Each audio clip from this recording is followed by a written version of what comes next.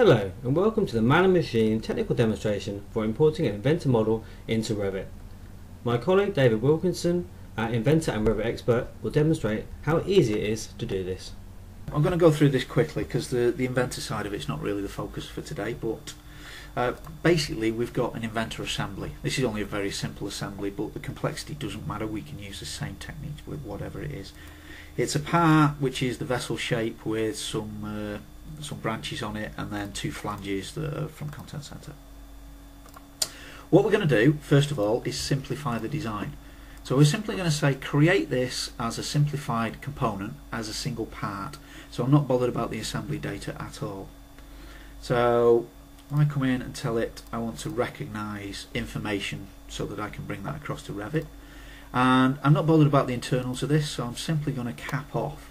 And I could choose an automatic option here, but I want to keep the bolt holes. If I choose that, it's now filled that in completely. So from a geometry point of view, it's far simpler. I can then ask it to recognize different features for Revit. So Revit could actually recognize these things as extrusions and part of the modeling environment so we can modify it in Revit if we wanted to. We don't have to do that, but I've just chosen to in this case. And then once we've finished that, um, I could export that to Revit now and I can pick it up in Revit and use it but as it stands at the moment um, that we, we need some more information. We need some connection points on here because these are flanges but we also need the COBie information putting in there. And we can do that in Revit or something that we've done at Man and Machine is we've written uh, a couple of little routines. In fact we're, we're now creating a, a BIM toolbox for Inventor which allows us to populate property information according to BIM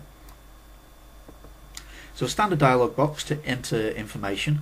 These are all the fields that are required for the BIM standard or the COBie standard. Okay. So if I just drop some details in here, I'm not going to fill them all out obviously. Uh, so now, and then one, two, three, and material, let's say copper for today. Okay. So that's me done. If I now go to our BIM exchange tool within Inventor, um, I can say, well, I can just send this straight out, or we can say, I want to specify some connectors. So that there is a connector. It's circular. It's picked the right size up already, but I could override that obviously. And uh, it's a domestic hot water.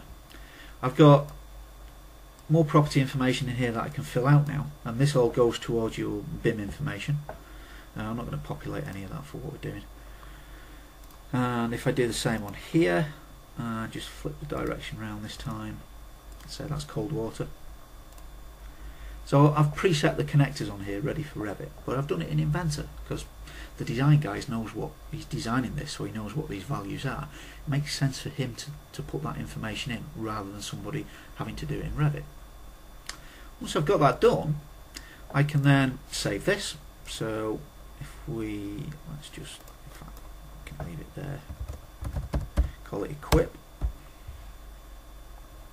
And then if I just orientate it correctly it's going to be saved as a Revit family file an RFA file.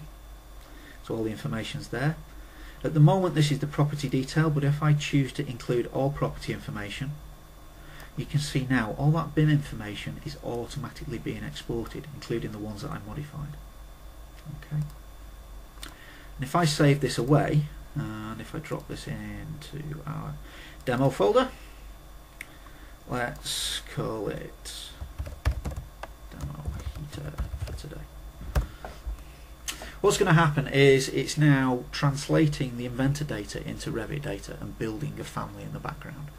So it's processing this through as you can see the progress bar going across. Once that's done it's a fully fledged Revit, Revit file. And we'll go and have a look at that briefly in Revit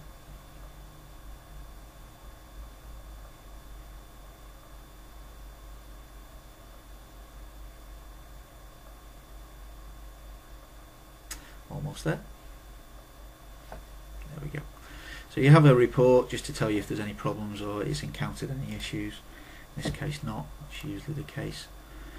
So if we go back to Revit briefly um, and basically say, right, I want to insert a component now. Ah, well, that's one I've done before. If I choose to load that in, uh, so if I come in here and say BIM demo, I want demo heater. So it's going to load that equipment in.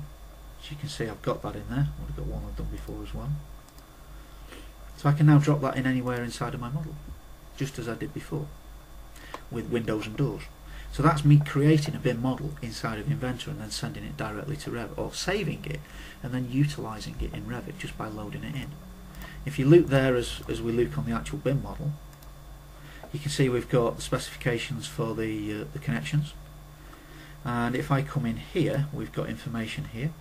But if I go and edit the type, all these D values here are dimensional values that's come from Inventor because I chose the way I chose to do it. I could actually modify these parameters and change the size and shape of that model in Revit if I wanted to. So we're probably not too interested in that, so the dimensional information is off. But if we then scroll down the list, all our COBie information or BIM information is actually here. So heater, MM123 and copper. That's what I authored in Inventor and sent directly to Revit. So that is our BIM model done uh, from Inventor and utilised in Revit.